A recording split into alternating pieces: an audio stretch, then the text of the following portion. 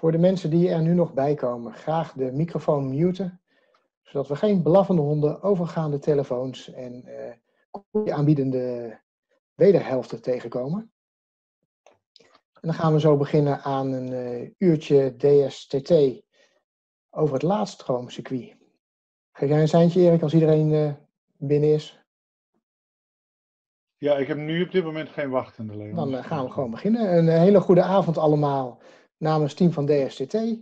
Ik ben Leon Geloof. Uh, Egbert die gaat zo meteen ook nog een stukje doen. En Erik Tollenaar die zit achter de knoppen om het allemaal in goede banen te leiden.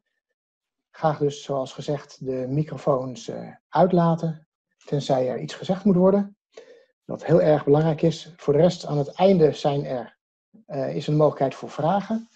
We gaan het namelijk in drie stukken opdelen. Ik ga eerst een 20 minuten iets over de onderdelen uh, en het circuit vertellen. Daarna gaat, uh, neemt Egbert het over en die gaat het een en ander laten zien over een daadwerkelijk circuit. Dat is een, hele leuke, een heel leuk computerprogramma erbij. En de laatste 20 minuten die laten we open voor vragen en die willen we graag via de chat doen. Daarnaast wordt uh, het verhaal opgenomen. Dus uh, op het moment dat uh, jullie niet in beeld willen laten op internet, dan niks zeggen, niks vragen en niet in beeld komen. En dan gaan we nu beginnen. Ik hoop dat iedereen maar goed kan horen en goed kan zien. Zo niet, meld het dan nu even.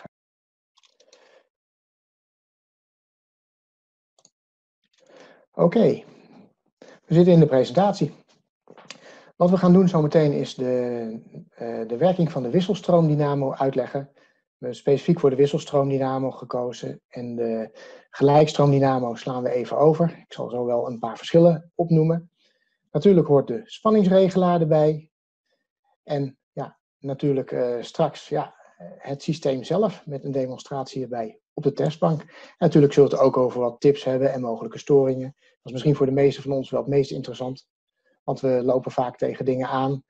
En ja, eigenlijk het naadje van de kous weten van het laadstroomcircuit. Dat, uh, die interesse heeft niet iedereen, maar hij moet wel werken natuurlijk.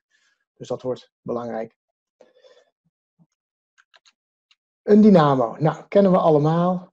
Een fietsdynamootje, dat is een magneet die ronddraait in een wikkeling. En ja, dat geeft uh, inductiespanning in de spoelen. En dan gaat er een lampje branden. En het lampje gaat branden omdat we hier, zonder enige apparatuur erbij, omdat we hier te maken hebben met wisselstroom. En dat gaat bij een lampje heel goed, want die werkt allebei de kanten op. Dus de ene keer gaat de stroom zo, de andere keer zo. Dus dat is een heel eenvoudig systeem. Daarvan weten we ook dat hoe harder die gaat draaien, hoe meer uh, stroom die gaat leveren, hoe hoger ook het voltage wordt. Dus op het moment dat je achterlicht doorbrandde en je ging hard de heuvel af, dan brandde je koplamp ook door. Dus dat was niet begrensd, niet geregeld. Nou, in de auto hebben we dat natuurlijk anders geregeld. We hebben hier een systeem in de auto, maar, want het principe is nog steeds hetzelfde.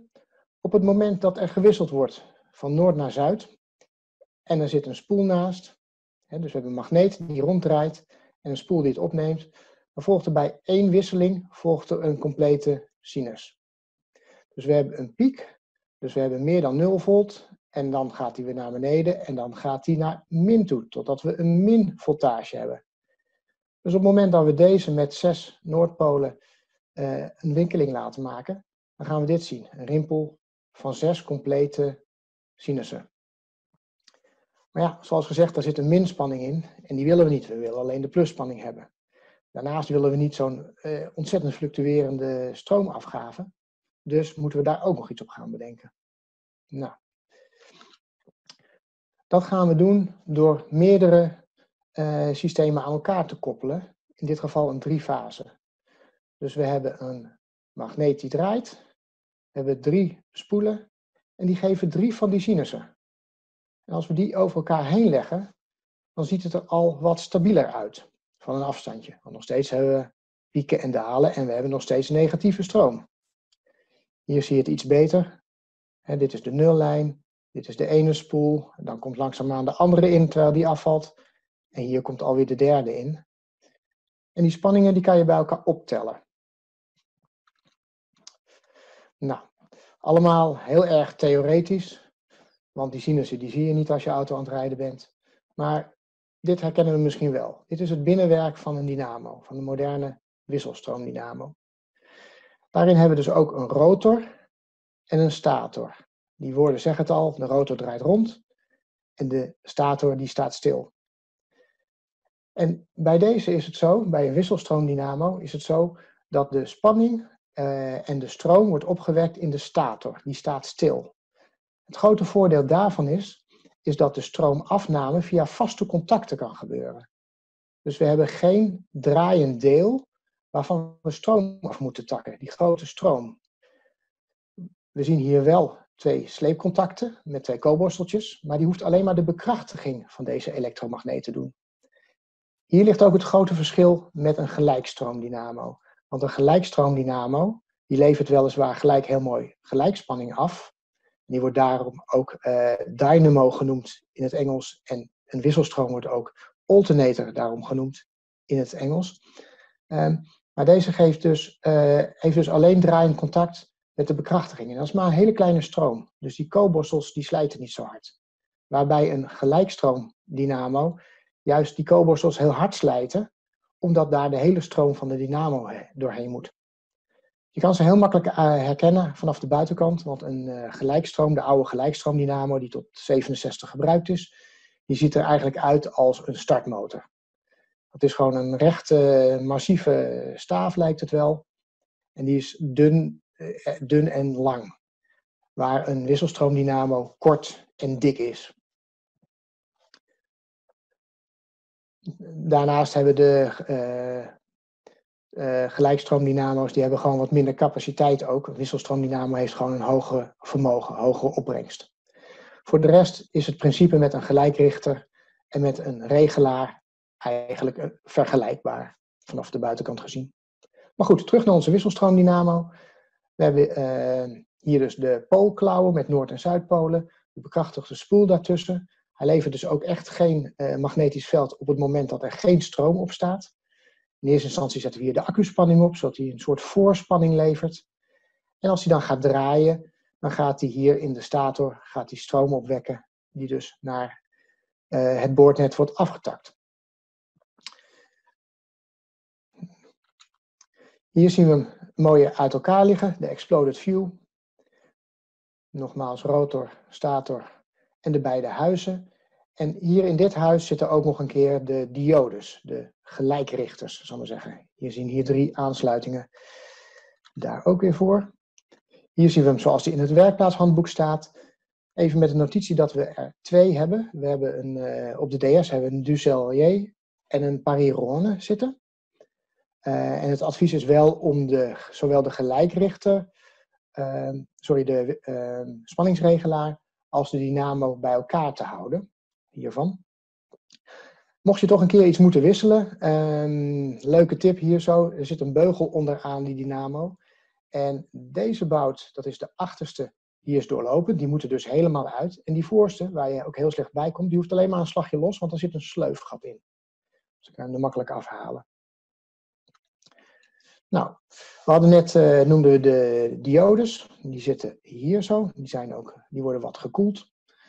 Um, die diodes, dat zijn gelijkrichters. En dat is een elementje waar de stroom vanaf de ene kant wel doorheen kan en vanaf de andere kant niet, wordt die geblokkeerd. En daarmee gaan we ervoor zorgen dat we alleen positieve stroom overhouden en de negatieve stroom weg kunnen filteren. Er zitten zes diodes in, in totaal. Dat zijn er twee voor elke winding, of uh, voor elke uh, fase. Uh, en we hebben dus drie daarvan in de dynamo zitten. En dan is er eentje voor de binnenkomende en eentje voor de uitgaande. Probeer het maar zo eenvoudig mogelijk te brengen. Overal kan je wel theorie erover vinden. Maar mijn uitdaging vanavond voor jullie is om het zo eenvoudig mogelijk te zeggen. Hier zien we die zes diodes zitten. Dit is het vaste tekentje voor een diode. En in de pijlrichting kan die stroom doorlaten mits de stroom over de drempelspanning komt van 0,7 volt. En in de tegenovergestelde richting kan die geen stroom doorlaten. Hier zie je weer die drie fases. Dit zijn dus eh, de drie fases van de stator, die dus eigenlijk er omheen zitten. En die worden, ehm, daarvan wordt de stroom dus afgetapt. En de uh, regelaar, die, ehm, ja, die zorgt ervoor dat de rotor bekrachtigd wordt. Nog even de puntjes op die voor wat betreft de gelijkrichting. Hier zien we de stator, waarin de drie spoelen zitten, oftewel de drie fases, die hier de uitgangsdraden hebben. Het symbool van een spoel is deze. En op het moment dat hier een magneet in gaat draaien, krijgen we een sinusvormige uitgangsspanning, een wisselspanning, oftewel een positief en een negatief gedeelte.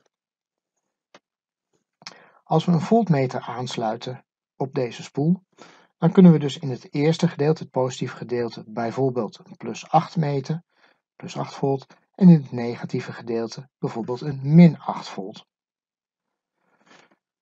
Dat komt omdat de voltmeter zo is aangesloten dat de plus toevallig aan deze kant zit en de min aan de andere kant. En op het moment dat hij in zijn positieve fase zit, dan meten we hier dus 8 volt. En op het moment dat hij in zijn negatieve fase zit, meten we min 8 volt, maar eigenlijk betekent dat dat de spanning gewoon de andere kant op staat. De stroom loopt de andere kant op. Dus eh, je kan zeggen, een negatieve spanning is eigenlijk een andersomlopende stroom. We kunnen spoelen ook aan elkaar zetten. We kunnen ze in serie zetten. Dan kan er het volgende ontstaan. Hier zitten we bijvoorbeeld in de maximale piek van 8 volt. Maar voor de tweede spoel zitten we bijvoorbeeld op dit stukje, dus een klein stukje negatief. Die staat dus de andere kant op en die heeft bijvoorbeeld een waarde van 3 volt. Nou, wat meten we in dit geval op de voltmeter? Plus 8 min 3 is inderdaad 5 volt. In onze stator zit er nog een derde spoel dus aangesloten, een derde fase, en die zit hier. Na het optellen van die twee fases die met elkaar in serie staan, dat principe blijft gelden.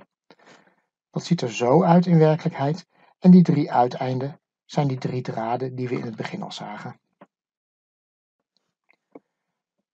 Alle drie de fases bij elkaar ziet het plaatje er zo uit. Er is dus een positief en een negatief gedeelte van elke. En als we nu die rode nog eens gaan volgen, dan ziet het er als volgt uit. Op het moment dat we in het positieve deel van de fase zitten, dan staat de spanning bijvoorbeeld die kant op. En dan gaat die spanning vloeien. En die vloeit in dit geval door de diode heen, want die staat in doorlaatrichting. In de andere kant zou die sperren, oftewel blokkeren, kan er geen stroom gaan lopen. Nou, kijken hoe de stroom verder loopt. Ja, die gaat verder naar de accu. Dit is het symbool van de accu. En we zouden de accu kunnen opladen op het moment dat we een gesloten circuit hebben. Dus dat hij ook weer terugloopt naar de spoel. En daar is in dit geval sprake van. Dus hier wordt de accu opgeladen met een positieve spanning van 5 volt. Gaan we naar het negatieve gedeelte kijken van de fase. Dan gaat dus de spanning de andere kant op staan. Gaan we eens kijken wat dan de situatie is. Daar komt niks uit. Dat klopt. We hebben hier weliswaar een circuit, maar geen gesloten circuit, want de spanning zou willen gaan lopen op deze manier, maar komt hier de diode tegen in sperrichting. Oftewel, er kan hier inderdaad geen stroom gaan lopen. Op het moment dat we er nog een paar diodes bij zetten en het een heel licht modificeren, het schemaatje, dan geldt het eerste principe nog steeds. Op het moment dat we een plusspanning hebben, dan gaat de stroom die kant op lopen, dan gaat hij door de eerste diode heen en hij komt keurig aan de pluszijde van de accu terecht. Laat hem dus op. Nu kijken of we een gesloten circuit hebben. Hij vloeit terug. En nu kan hij door twee diodes heen. In dit geval gaat hij via deze diode terug, want hier vindt hij zijn aansluiting aan de andere kant van de spoel. Oftewel, hij kan hier een gesloten circuit creëren. Dus hier wordt ook weer de batterij, de accu, opgeladen. Nu gaan we kijken wat er gebeurt bij de negatieve fase. De spanning staat dus de andere kant op en dan zou dus een spanning de andere kant op moeten gaan lopen. Dus kijken of dat gaat lukken. We kunnen hier langs een diode in de goede richting, dus dat lukt. En we komen inderdaad weer aan de positieve kant van de accu uit. Oftewel, we kunnen de accu laden, mits we dus weer een gesloten circuit hebben. Nou, eens kijken. Ja, we hebben hier een andere diode, een min-diode waar we doorheen kunnen. En we hebben hier inderdaad weer een gesloten circuit aan de andere kant van de spoel. Dus ook hier, bij de negatieve fase, wordt toch de accu opgeladen. Oftewel, we hebben hier gelijkgericht. In werkelijkheid ziet het er zo uit. 3 plusdiodes, 3 min-diodes en, zoals we in het begin gezien hebben, een stervormige aansluiting van drie spoelen. De fases die worden allemaal gelijkgericht, oftewel omgeklapt naar boven. Twee spoelen die in serie met elkaar staan, worden bij elkaar opgeteld. En dan zien we dat hier een spanning ontstaat die hoger is dan die van de afzonderlijke fases. Oftewel, we hebben gelijkgericht en we hebben bij elkaar opgeteld. De spanningsregelaar. Nou, dat is dat kastje met die vier aansluitingen die uh, op de achterkant van de accu zit. Die dus bij de dynamo hoort. Uh, en uh, even omdenken dat dat ding goed geaard moet zijn. Hij zit wel op drie rubbertjes, maar die rubbers zijn tegen de trilling. Die zijn niet om te isoleren. Hij moet, het huis moet geaard zijn, anders werkt hij niet goed. En als we die openmaken, wat je in principe niet moet doen, want het afstellen ervan is uh, erg lastig. En als je, zou maar zeggen, dit al een interessante lezing vindt, dan zou ik er zeker nog even niet aan wagen om te gaan afstellen. Maar het kan wel, ze kunnen afgesteld worden, waarbij uh, de Dusselier eigenlijk degene is die echt goed afstelbaar is. Die doet het met een excentriekje en de Parirone, die doet het met een, met een plaatje wat je moet buigen. Maar goed, we zien hier zien we eigenlijk twee relais in zitten. We zien twee aanzichten, hier zien we ze nogmaals. Dat zijn dus eigenlijk elektrische schakelaars. Er gaat een stroom door de spoel heen, de spoeltjes die we zien, en die wippen dan die lipjes op en neer en daarmee maken of verbreken ze een contact. Er zitten er twee in. Eentje is er voor alleen het laadstroomlampje, om die te laten branden of uit te doen. En de andere is degene die regelt. Die dus de bekrachtiging regelt van de rotor. Dus eigenlijk is het ook niet echt een spanningsregelaar, want hij regelt niet direct de spanning, maar hij regelt de frequentie waarmee de rotor in en uitgeschakeld wordt, oftewel de bekrachtiging in en uitgeschakeld wordt. Dus eigenlijk is het een bekrachtigingsregelaar. Die bekrachtiging die gaat met een uh, hele hoge frequentie. Uh, voor degenen die een beetje in de elektronica zitten, PWM, uh, Pulse Width Modulation. En dat betekent eigenlijk hoe langer die aanstaat, hoe groter de bekrachtiging is. Het is niet zo dat hij eerst 30 seconden bekrachtigt en dan 20 seconden niet bekrachtigt. Hij is continu aan en uit aan het schakelen met die bekrachtiging. Oftewel, een van die, deze twee reletjes die gaat heel hard op en neer. Een hele hoge frequentie. Dat kan zelfs zoveel geluid geven dat je dat kan horen. Het kan ook irritant zijn. En dat is het mooie van eventueel een uh, moderne transistorregelaar. Uh, want daarin gebeurt het elektronisch en heb je geen mechanische schakeling meer. Nou, we zien hier drie aansluitingen en aan de andere kant ook nog eentje. Maar de massa nogmaals, die moet dus ook goed gelegd zijn. Anders werkt hij niet.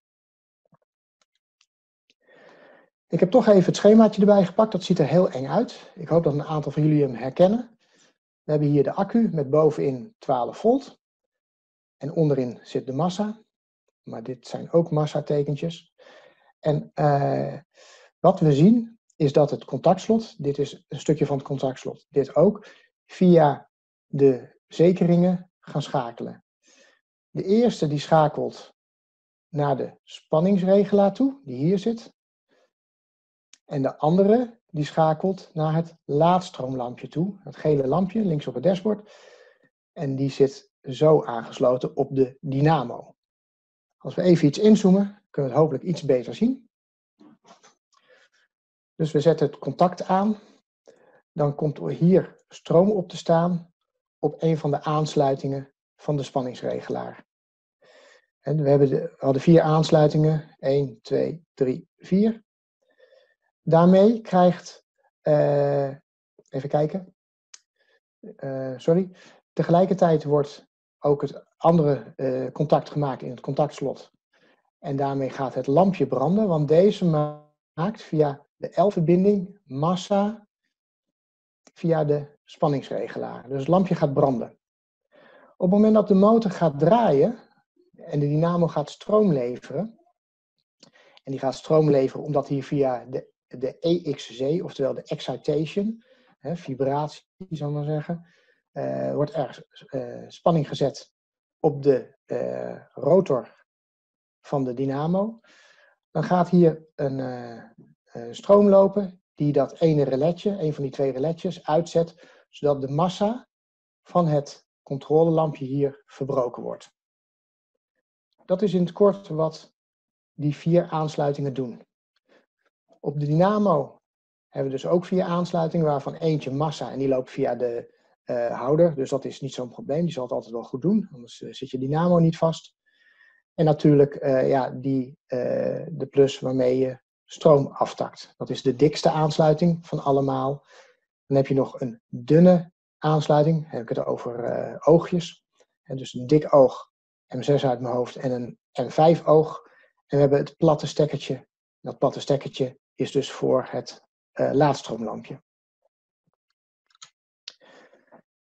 Nou, we gaan nog even een stapje dieper. Hier komen een paar dingen samen die we eigenlijk net al gezien hebben. We zien hier, dan moet ik ook even, uh, ja, we zien hier uh, de sleepringen van de rotor. Dus dit is het gedeelte wat draait. Die sleepringen die zitten hier om contact te maken. En eigenlijk draait deze in de stator. En alleen als deze bekrachtigd is, gaan deze stroom leveren kunnen deze stroom leveren.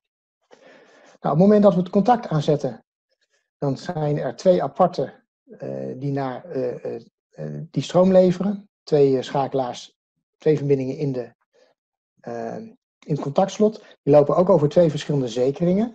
En voor het lampje bijvoorbeeld is niet heel veel stroom nodig. Dus op het moment dat zo'n zekering een beetje geoxideerd is, kan het ook zijn dat dit niet lekker werkt in het begin. En even aan de zekeringen draaien of die een beetje schoonmaken, kan ook helpen. Maar we zien dus een plus lopen via het lampje.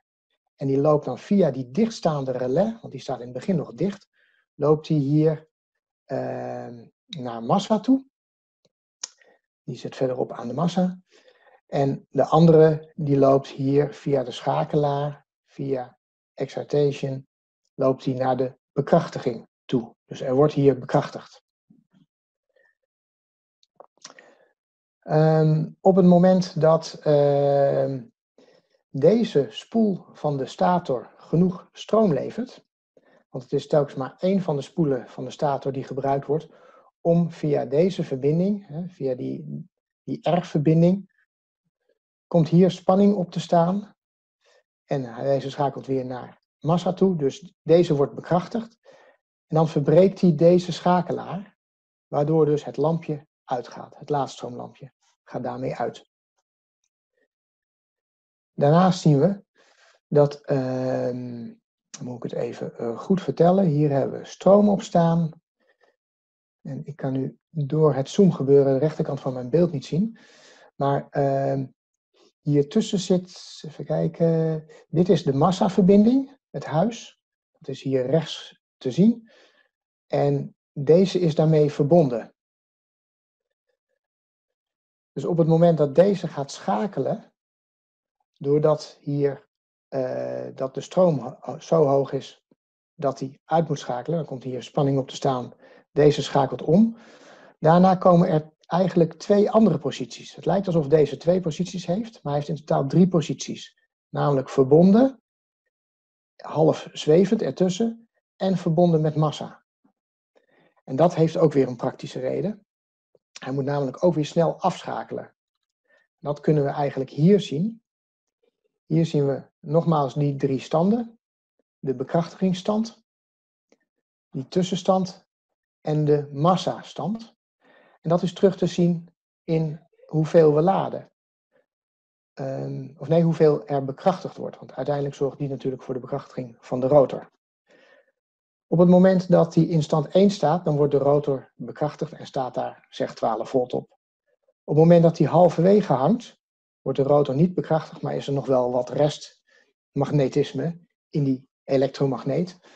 En zal die uh, uh, veel minder laden. Dan zitten we op dit niveau. Uh, dus dit is de, wat hij laat en niet wat hij bekrachtigd is. Op het moment dat hij aan massa gelegd wordt, dan gaat, slaat hij in één keer naar nul toe. Dus dan regelt hij gelijk helemaal mooi terug. Daarmee is het goed te controleren. En weet je dat alles, ja, werkt hij gewoon zuiver.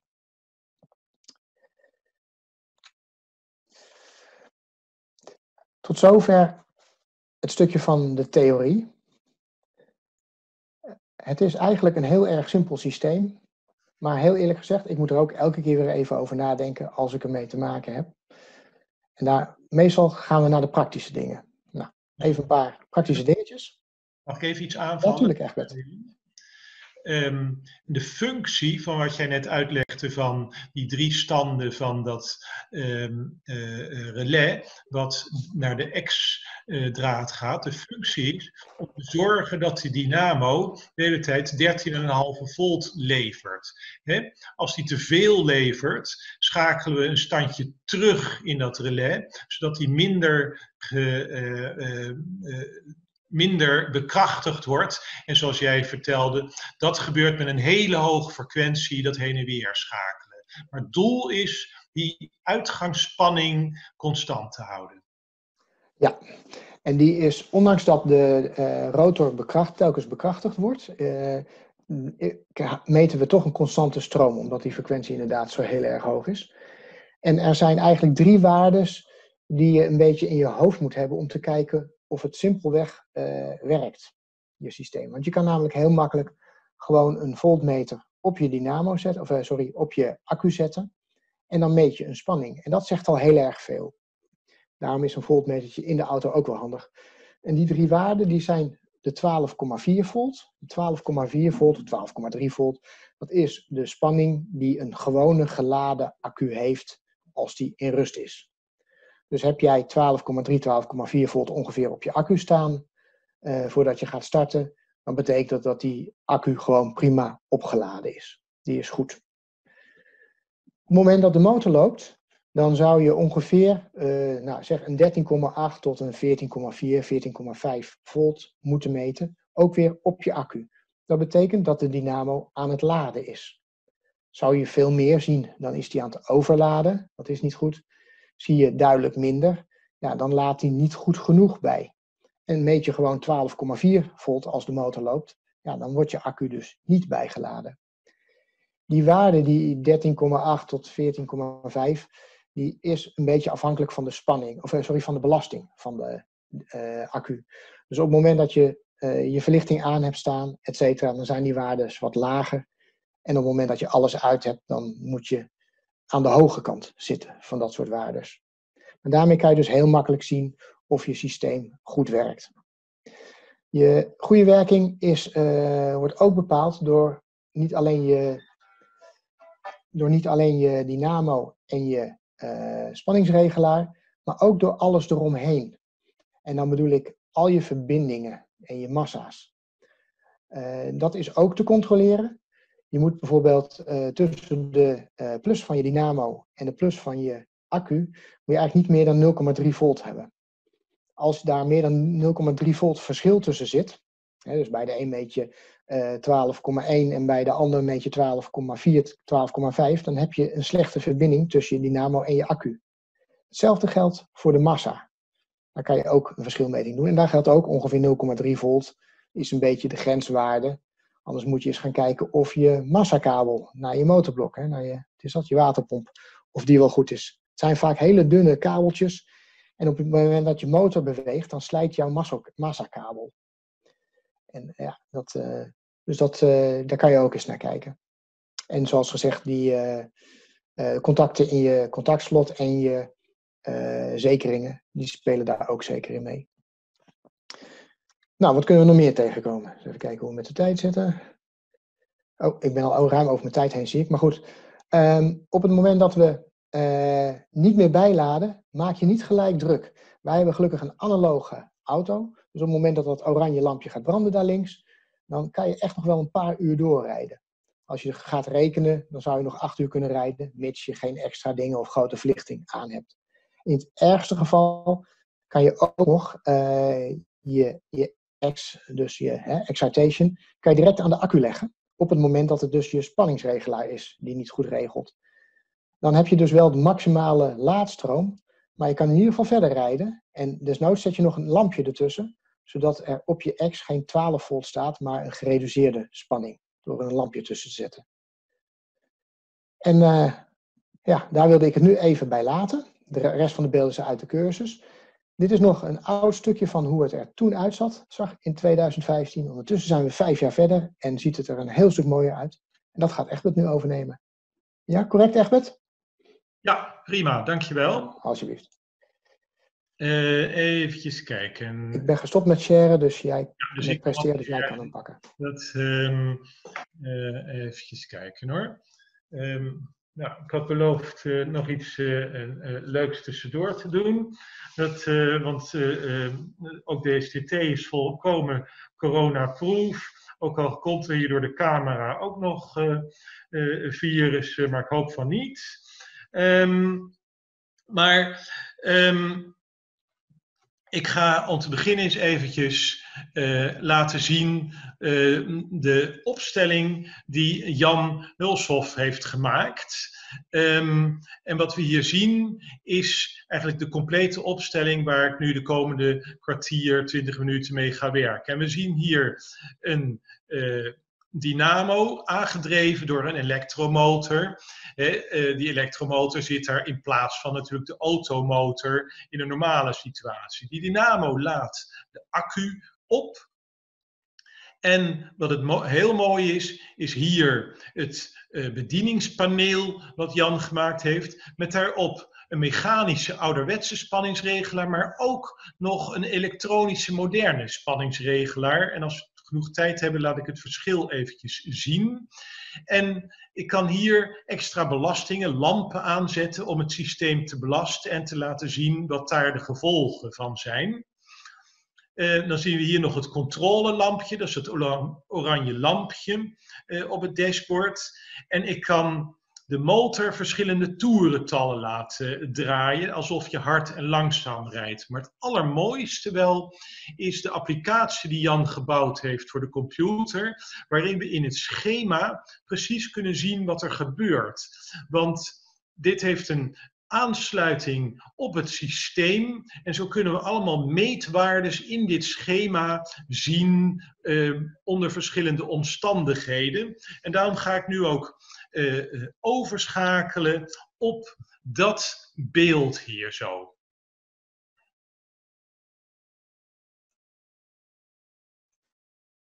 En dan zien we hier um, ja, de uh, applicatie van Jan met het schema en alle waarden die erin zien. En om ons even te oriënteren, hier hebben we weer de dynamo, hier hebben we de spanningsregelaar. En ik zal eventjes trouwens een. Um, hoe doe ik dat? Ja.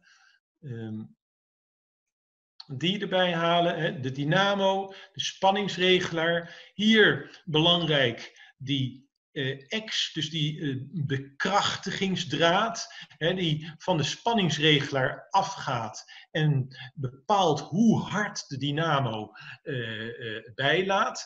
En we hebben hier een voltmeter zitten. Um, en daar kunnen we ook hier uitlezen hoeveel spanning die regelaar geeft aan de dynamo. En dan kunnen we hier uitlezen wat de dynamo of wat de accuspanning is, deze. En dan kunnen we hierboven kunnen we ook nog um, zien hoeveel ampère er naar de uh, accu gaat en hoeveel ampère er naar de, um, ik ben, uh, uh, van de dynamo afkomt. En ik ben toch op de een of andere reden mijn, mijn muis kwijtgeraakt. Goed, ik heb het contactslot aangezet van mijn proefbord. En wat we nou zien, de elektromotor draait nog niet. Dus alsof je automotor nog niet draait. Dat zien we ook. We hebben hier toerental 0 staan. En wat zien we nu? We zien een accuspanning van iets van 11,5 volt. Uh, is logisch, want ik heb een uh, oude, uh, niet meer zo goed bruikbare accu hiervoor gepakt. Hè, dus die zit onder die 12, iets volt die die bij vol zou moeten hebben, die Leon heeft verteld. We zien dat ons laadcontrolelampje brandt, is ook logisch. En we zien um, dat nu al, maar die dynamo draait niet, maar dat de dynamo maximaal bekrachtigd wordt. die krijgt gewoon de volle um, um, accuspanning. Want die regelaar weet niet dat die dynamo nog helemaal niet draait. Dus die denkt, uh, we hebben een veel te lage spanning hier zo. Hè, want we hebben een lagere spanning dan die 13,5 volt. Dat is veel te laag. Dus ik moet de dynamo maximaal gaan bekrachtigen. Uh, zodat hij zijn werk gaat doen. Nou, dan ga ik nu eens eventjes de uh, motor laten draaien. En um, laat ik hem ongeveer op iets van 500, krappe 500 toeren draaien. Hè? Dus uh, laag stationair van je motor in de auto. En wat zien we dan gebeuren? Eigenlijk niks. Hè? Uh, het laadstroomlampje brandt nog steeds. Ja, zien ze nu en dan dat er een heel klein beetje stroom gaat lopen, uh, maar nog veel te weinig stroom om ehm, ook echt de accu bij te laden. Want we zien hier zo dat er hier nog een negatieve stroom is van de accu. De accu wordt niet bijgeladen, maar de accu wordt ontladen naar alle verbruikers. Dus bij een laag toerental gebeurt er nog weinig. Dan ga ik nu het toerental opvoeren naar iets van, ja de regeling is een beetje ruw, maar boven de 1000 toeren, dat zien we hier, iets van 1400 toeren draait nu de motor. Nou, en wat zien we nu veranderen? We zien om te beginnen, zien we dat die dynamo inderdaad nu aan het laden is. We zien hier dat hij iets van 7 ampère levert. We zien ook dat van die 7 ampère er iets van 5 ampère overblijft om de accu bij te laden. Dus de accu wordt nu ook daadwerkelijk bijgeladen. Hè, en dat verschil tussen deze amperes zijn de verbruikers die ook aanstaan. En we zien nu al dat die accu heel netjes op 13,5 volt wordt afgeregeld. Wat we ook kunnen zien is die bekrachtiging van die dynamo, dat die nu op 4 volt staat. Dus hij die dynamo hoeft maar een klein beetje bekrachtigd te worden om um, die accu op 13,5 volt uh, te zetten. Nou, als ik dan nu dus eventjes wat extra verbruikers aanzet. Hè, ik heb wat extra, uh, ik heb twee lampen van, 15, uh, van 21 watt erbij geschakeld. Wat zien we dan eigenlijk? Nou, we zien in ieder geval um, dat um, ja, het belangrijkste wat we zien eigenlijk is de spanning uh, die, naar, van die, die, die naar die execute gaat, dus die bekrachtiging van die dynamo, dat die spanning van 4 naar 5 volt is gegaan. Die dynamo die heeft dus gewoon meer bekrachtiging nodig om die accu nog steeds op 13,5 volt te houden op zich grappig, dat kunnen jullie niet uh, zien. Maar als ik nu mijn hand leg op die spanningsregelaar hier, dan voel ik ook vrij hoog frequent die um, regelaar voel ik uh, trillen. Want ik voel dat relais wat voor die pulse width modulation werkt, voel ik heel snel heen en weer schakelen, hè, zodat hij in feite steeds heel kort eventjes die execute spanning geeft en daarna weer kort geen. En dat middelt zich uit in deze 5 volt. Uh, ik zet nu de belasting eventjes uit weer. Um, want wat ook interessant is, wat we willen, is dat als we nou harder gaan rijden, meer toeren maken met de motor, dat toch die 13,5 volt eh, constant blijft. we willen niet zoals op de fiets, dat als we hard de berg afgaan, dat al onze lampen doorbranden. Maar we willen dat dat constant is. Dus ik ga nu die elektromotor, het toerental van de motor, iets opjagen tot boven de 2000 toeren. En we zien dat, terwijl die dynamo veel meer vermogen heeft, we zien dat die spanning maar een klein beetje is opgelopen. Hè, van 13,5 naar 14 volt. Dus helemaal strak regelt deze niet. En we zien ook dat die execute spanning, dus die bekrachtigingsspanning, gedaald is van 4 naar ruim 3 volt. dus die dynamo is nu al zo krachtig geworden dat hij nog minder bekrachtiging nodig heeft om die accuspanning constant te houden. Um, nou, dat deze spanning niet helemaal mooi op de 13,5 blijft, dat komt omdat zo'n uh, mechanische spanningsregelaar niet ideaal is. En nou is het wel leuk, dan ga ik eventjes, zet ik het contact even uit en zet ik er eventjes die elektronische spanningsregelaar op, om eventjes te laten zien wat nou het verschil is daarvan. Ik heb nou de elektronische spanningsregelaar aangezet. En moet je eens even goed letten op deze spanning zometeen als ik nou het toerental ga variëren. Nou, we hebben weer eerst hetzelfde nul toeren, gebeurt er natuurlijk niks. Maar nou ga ik een beetje draaien. Laadstroomlampje is uitgegaan. En ik zit nu iets boven de 1000 toeren. Nou, we zien, hij regelt mooi af op 14,5 volt. Punt is, een elektronische spanningsregelaar is een moderne spanningsregelaar. En tegenwoordig, moderne accu's horen 14,5 volt te krijgen, terwijl vroeger, uit de tijd van de DS, eh, accu's 13,5 volt worden te krijgen. Maar hij regelt hem dus mooi af op 14,5 volt. En dan ga ik het toerental eens flink opjagen. Dat zie je daar links, het oranje balkje. En we zien, hij houdt het exact op 14,5 volt. Dus zo'n elektronische spanningsregelaar, die regelt eigenlijk veel constanter af dan ehm, die ouderwetse spanningsregelaars.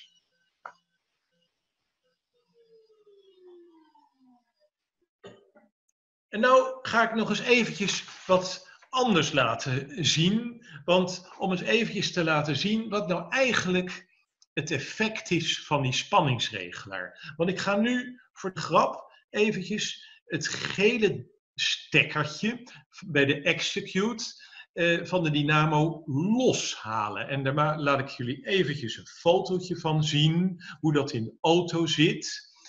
als we in de auto kijken onder de motorkap, dan hebben we hier de dynamo zitten. En dan zit dat gele stekkertje hier zo. Ehm, en dat is het stekkertje wat met een schuifstekkertje, wat die X geeft. Dus die bekrachtiging. En dit stekkertje uh, sluit dus eigenlijk aan op de koolborstels. En die koolborstels geven de stroom door aan de rotor. Hè. En hoe meer stroom er door die rotor gaat, hoe krachtiger het magneetveld in de dynamo is en hoe meer laadspanning die geeft. Dat hebben we net ook gezien. En wat ik nu ga doen, is dit stekkertje eens even lostrekken en uh, kijken wat er dan gebeurt. En daarna er ook eens eventjes 12 volt opzetten en kijken wat er dan gebeurt. Nou, om te beginnen heb ik, trek ik nu het gele stekkertje gewoon los.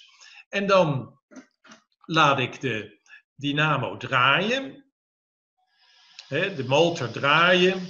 En wat natuurlijk te verwachten was, er gebeurt gewoon helemaal niks. Hij blijft op die 12,5 volt staan. We laden niet bij.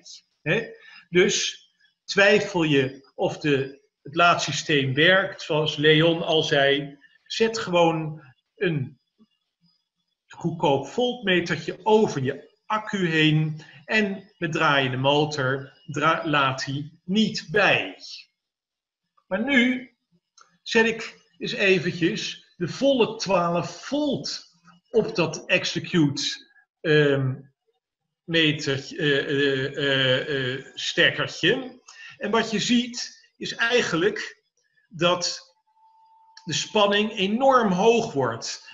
En hij schiet eigenlijk, dat is gewoon een elektronisch dingetje hier, hij schiet boven de 15 volt uit. Hè, en hier telt hij dan weer door. Dus hij komt wel, zeker als ik het toerental een beetje opvoer, wel op 17 volt uit. Als ik dus niet regel.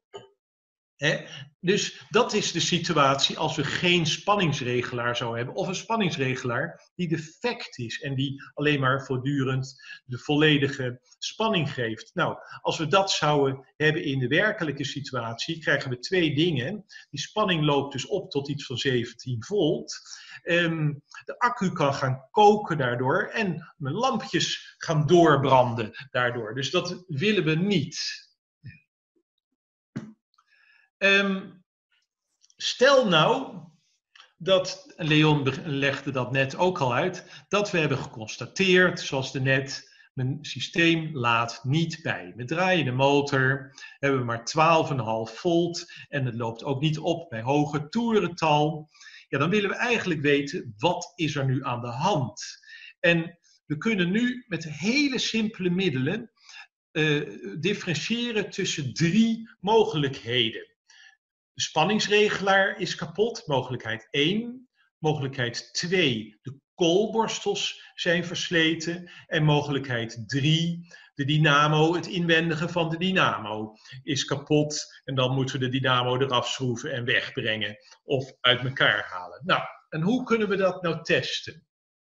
Ik begin met um, bij draaiende motor die volle 12 volt hij werkt niet op mijn dynamo, op die execute te zetten, op het gele stekkertje te zetten.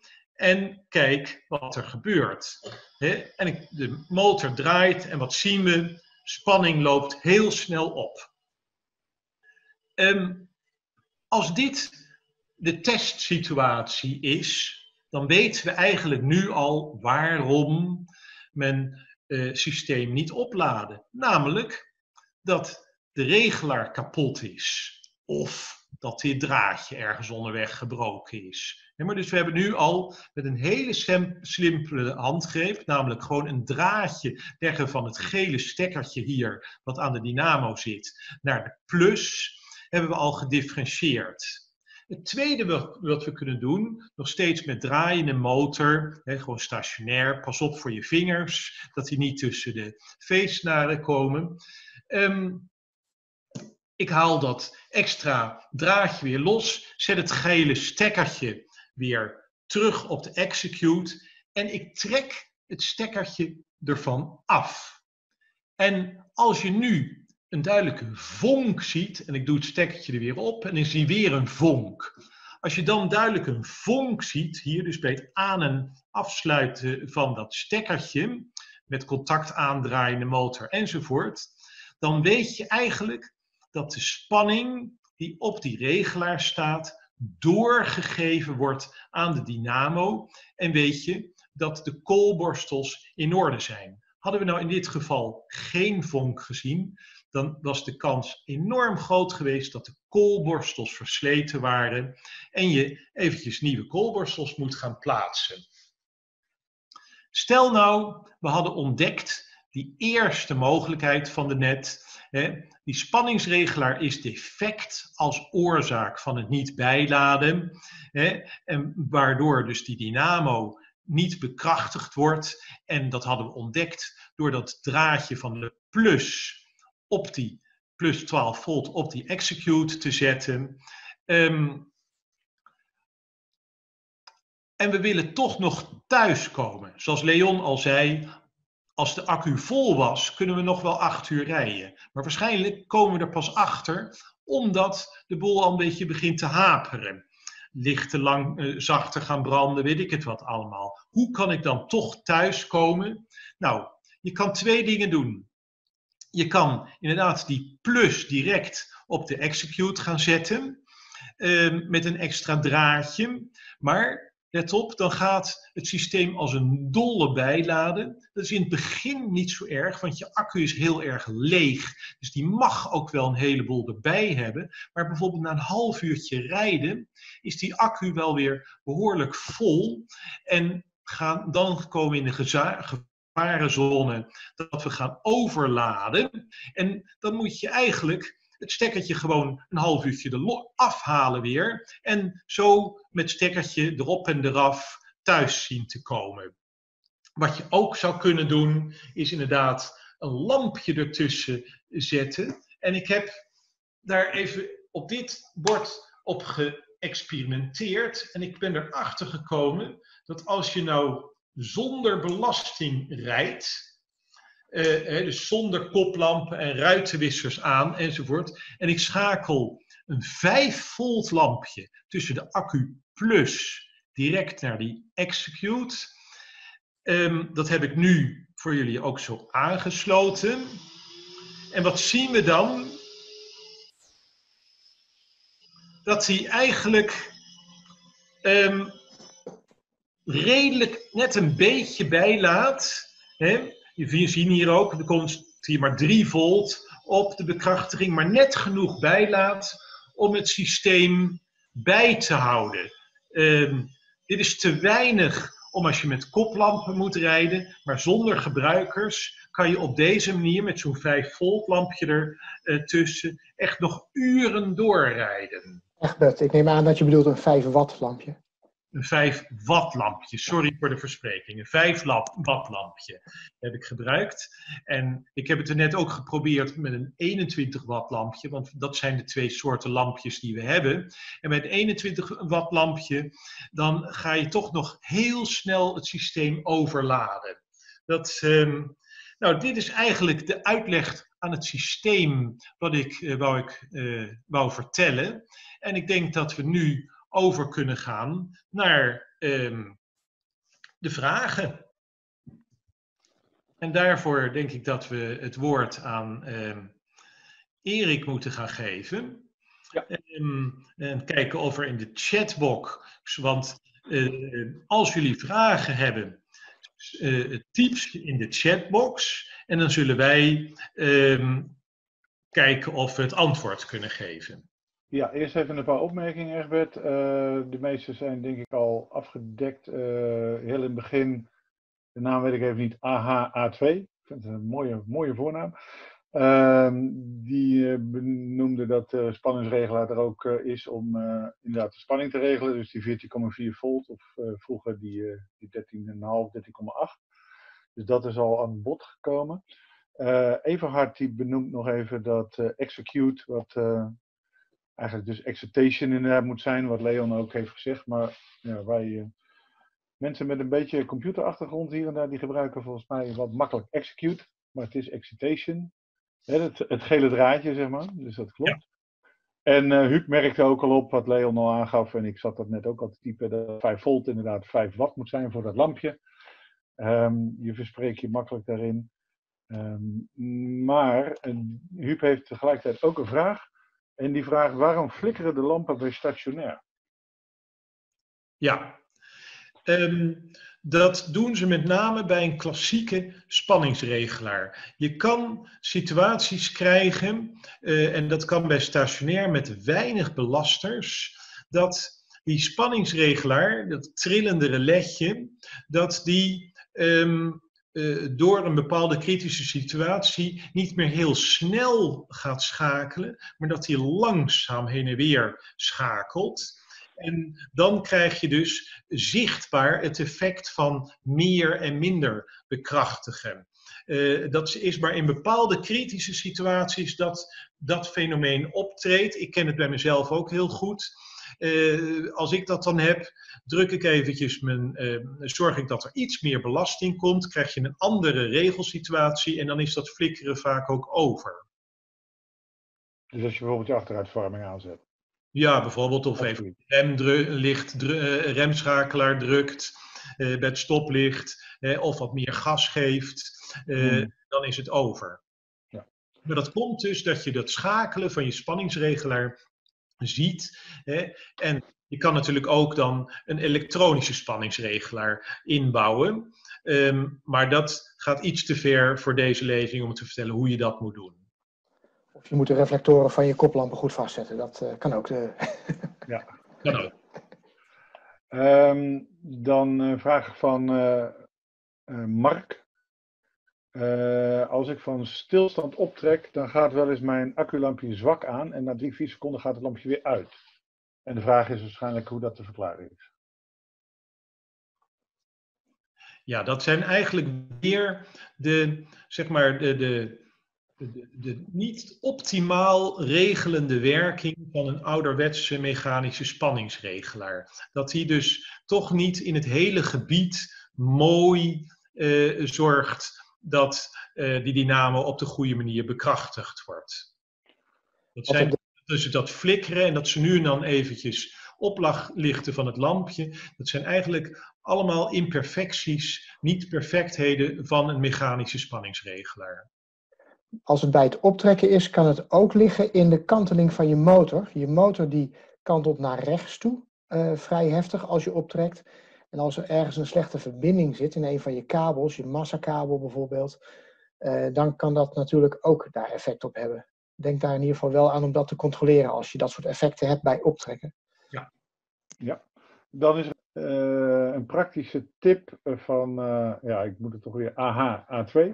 Uh, voor als je onwetend schuinstreek ongemerkt met een kapotte regelaar rijdt. De overladende kokende accu geeft de rotte eierenlucht. Dat klopt inderdaad, kan ik, kan ik bevestigen. We hadden dat onlangs met onze, onze eend. En inderdaad, die accu is gaan koken. Ik vond al wel dat we vrij goed, goede verlichting hadden. Dat viel mij wel op. Dus als je daar wat langer mee doorrijdt, dan kost je inderdaad gewoon een accu en, uh, en de nodige ellende die daar uh, voortvloeit. Dan is er een vraag van iemand die even geen naam hier heeft staan. Een test voor de dynamo is dat je het draadje lostrekt van die dynamo zodat je een vonkje ziet. Logisch, want je verbreekt de stroom. maar kun je ook niet, of niet beter, de spanning op de, nou weet ik ook niet meer hoe die heet, de execute is het niet, excitation van de spanningsregelaar meten. Dus de vraag is, kun je, ja, als je geen meter bij de hand hebt waarschijnlijk dan... Uh... Nee, we hebben met stap 1 in mijn protocolletje net hebben gekeken of de uh, spanningsregelaar kapot is of niet. Nou, toen hebben we uh, geconstateerd, hè, dus dat is de eerste meetstap. Nou, als je constateert dat de spanningsregelaar kapot is, hoef je ook niet meer verder te gaan zoeken. Als je constateert dat die spanningsregelaar intact is, dan weten we dus al dat er gewoon spanning vanaf de spanningsregelaar eh, op dat excitation draadje komt. Maar nou wil ik weten of die spanning die op dat draadje komt ook werkelijk doorgevoerd wordt naar de rotor van je dynamo. En dat um, uh, test je, dan kan je ook met een multimeter testen hoor. Maar als je uh, uh, snel wil werken, kan je dat ook testen om te kijken of dat vonkje getrokken wordt. Want inderdaad, zoals de vraagsteller zegt, als dat vonkje getrokken wordt, betekent dat dat er als het stekkertje vast zat, stroom liep. En dat betekent dat de keten van spanningsregelaar excitation draad waar spanning op staat, naar koolborstels, naar rotor, naar massa, dat die keten niet onderbroken is. Dus dan weten we dat die hele keten functioneert. En als je dan toch het, het apparaat niet laat, weten we dus dat het aan een ander deel van de dynamo ligt. Oké, dat was uh, op dit moment de laatste vraag. Nog een kleine toevoeging in de controles. De diodes zijn ook goed zelf te controleren. Gewoon met een lampje. De ene kant op moet het lampje branden. En de plus en de min omdraaien. En dan mag het lampje niet branden. Dus dat is uh, ook. Diodes zijn ook goed zelf te controleren. Ja. ja. Alleen dan moet je wel de dynamo even uit elkaar halen en de diodes ook los solderen. Uh, ja. Ja, en als je ze uh, bij, bij een gespecialiseerde uh, dynamo, uh, dynamo bedrijfje brengt, dan hebben die over het algemeen een testbank. In ieder geval hier bij ons in de buurt is dat zo. Waar ze dat ding opzetten en eh, heel snel je kunnen vertellen wat er mis is. Ja, want dat doen ze door het scopebeeld te bekijken. Uh, want als er in dat hobbelige lijntje, wat de optelsom is van die drie fases, um, steeds uh, periodiek een dip zit, betekent dat één van die fases niet meegepakt wordt. En dan is er een, is een diode kapot. Ja, er komt nu een vraag binnen. Heeft uh, eh, DST een mening over voor, maar vooral, vooral nadelen aan een dynamo met ingebouwde regelaar? Oké, dat is de vraag, ja. Um, ik rij er zelf mee, ik heb daar geen nadelen kan ik daarvan verzinnen, zo 1, 2, 3, behalve dan dat um, uh, bij stationair, en als je net gestart hebt, je acculampje wat langer aanblijft. je heeft iets meer toeren nodig. Ik denk dat dat door die 14,4 volt komt, waar die moderne misschien mee regelen. Um, maar verder heb ik daar, ken ik daar geen nadelen van, maar misschien een van de anderen. Nou, ik weet nog twee nadelen. Eén nadeel heb jij zelf ook meegemaakt, is namelijk dat het vaak Chinese rotzooi is. Die beugels, ja. ja. Dat, en dat de beugel niet zo stevig is en dat die kan gaan scheuren. En wat ik de laatste tijd ook een aantal keren ben tegengekomen op uh, fora en dat soort dingen, is dat het omdat het uh, toch ook wat goedkopere Chinese spullen zijn. Dus dat de lagers die erin zitten uh, soms van uh, goedkope kwaliteit zijn. En dat hij daardoor wat makkelijker uit zijn lagers loopt. maar puur elektrisch zijn er eigenlijk alleen maar voordelen en geen nadelen aan. Uh, je hebt een betere uh, gereguleerde spanning daardoor, omdat het een elektronische regelaar is. Het zijn dynamo's met een veel groter vermogen, iets van 70 ampère in plaats van de 40 of 50 die een originele dynamo heeft. Maar je moet wel een beetje wat trucjes uithalen nog om je laadstroomlampje ook weer correct te laten aan en uitgaan. Ja, om het überhaupt te laten aan en uitgaan. Ja, klopt. Ja, ja dat klopt. Maar dat zit in de installatiehandleiding. Dus dat wordt er in principe bijgeleverd. Ja. Um, en het grote voordeel is natuurlijk ook dat je je spanningsregelaar kwijt bent. Dus iets minder vol. Je hebt minder uh, verbindingen. En dat is soms ook wel fijn. Dus als je accu er een keer uit moet halen, zit je niet met die vervelende regelaar. Ja, en hij kost volgens mij, eh, ik heb er toen iets van 300 euro of zo voor betaald, kan dat? 240 misschien? Zijn niet heel goedkoop. Ik, ik weet het niet. Ik heb hem niet gekocht. Dus. Um, even kijken, er zijn nog twee opmerkingen binnen. Uh, oh, nog meer. Uh, Chris die uh, merkt nog even op over de, ehm, het gelijkrichten die zegt volgens mij is het geen optelsom met de diodes, maar met de diodes wordt de, wordt de fase met de maximale spanning doorgegeven. Ja, ik denk ook dat dat niet helemaal het hele verhaal dekt, maar ik denk dat we gewoon Chris uh, gaan aanmoedigen om ook naar de cursus te komen, want daar gaan we daar wat dieper op in. Uh, ja, ik, ik, weet wie Chris is en ik weet dat Chris ik ook. meer van elektronica weet dan wij, ja. dat hij gelijk heeft. Maar het is geen optelsom inderdaad, maar het is uh, de hoop het, om, het, omklappen eigenlijk toch wel. Hè? Ja, ja. dus ik ah, goed prijs. Uh, en Larissa vraagt, uh, dat is naar aanleiding van de dynamo, uh, de, de, moderne dynamo waar we het net over hadden, met ingebouwde regelaar. Die zegt, wat is dat trucje? Want het staat niet in mijn handleiding. Ik heb hem zo niet bij de hand, maar ik weet wel dat hij beschreven staat. Weet iemand waar dat zo te vinden is? Nou, ik heb dat wel ergens. Ik kan dat wel even uh, opsturen. Als je even uh, een berichtje stuurt naar uh, onze info van DSTT, ja. dan zullen we daarop antwoorden, want dat, dat hebben we wel. Oké, okay. en wordt hier ook nog bevestigd inderdaad dat de dynamo, dat soort dynamo's rond de 250 euro kosten? Ehm, dan een vraag van, die naam weet ik niet hoe ik die uit moet spreken. G. De Cavel. Bij rijden in het donker, bijvoorbeeld op de snelweg, zie ik de koplampen flikkeren. Ze branden niet constant even fel. Wellicht de regelaar die wat te grof de bekrachtiging schakelt. Vraagt dit aandacht. Het laatste circuit werkt verder zonder problemen. Uh, oh, en uh, ja. Weet je zeker, dat is mijn, tweede vraag even, of, of ze inderdaad flikkeren of dat ze niet staan te trillen? Gewoon mechanisch trillen, want dat kan natuurlijk ook. Ja, maar het is inderdaad eigenlijk de, of mechanisch trillen of die regelaar die niet zo mooi uh, regelt. Ja, uh, uh, het kan geen kwaad. Ehm, vind je het hinderlijk, moet je een elektronische regelaar erin zetten. Ja. Oh, en Larissa is Freek. Ja. Zegt hier. Ja, is dat oké, okay, prima. Uh, Oké, okay, mechanisch trillen kan inderdaad niet uitgesloten worden. Ik, ik heb dat zelf ook. Uh, bij mij trillen de lampen. Um, ja, dat kan van alles zijn natuurlijk, maar uh, dat zie je vrij goed op die grotere verkeersborden op de snelweg. Dan zie je echt wel je, dat het een mechanische trilling is, zeg maar. Bij jou? Bij mij, ja. ja, ja.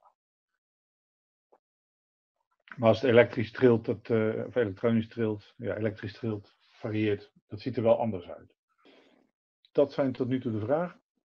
Ja, nou dan wil ik uh, iedereen weer hartelijk bedanken voor het volgen van deze cursus. In december uh, uh, hebben we deel 3 van dit drie luik. En dan gaan we meer in op storingen zoeken um, en merken met een multimeter.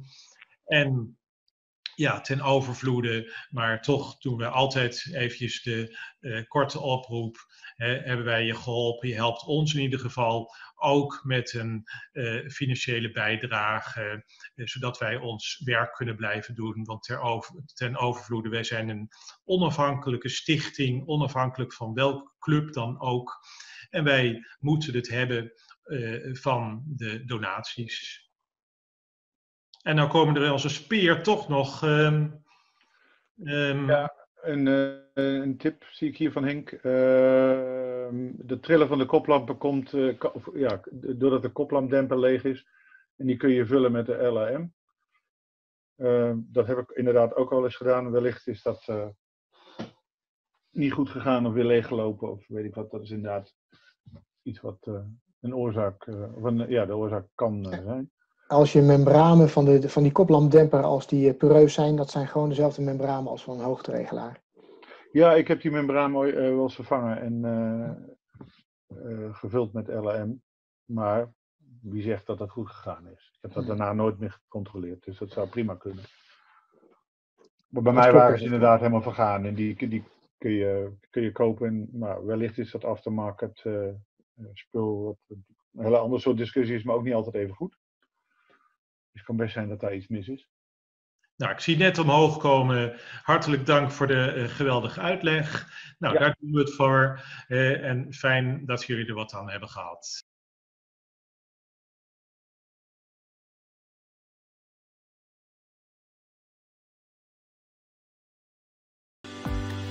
Bijdragende vragen. De opname komt. Uh binnen enige tijd uh, beschikbaar voor wie het nog eens terug wil kijken. Daar wordt meestal wat aan geëdit. Hè? Hoe lang duurt dat ongeveer gemiddeld? Weet iemand dat? Uh, hij zal in ieder geval in de volgende nieuwsbrief aangekondigd worden. Heel lang. Ja. Namens mij iedereen hartelijk bedankt en een fijne avond.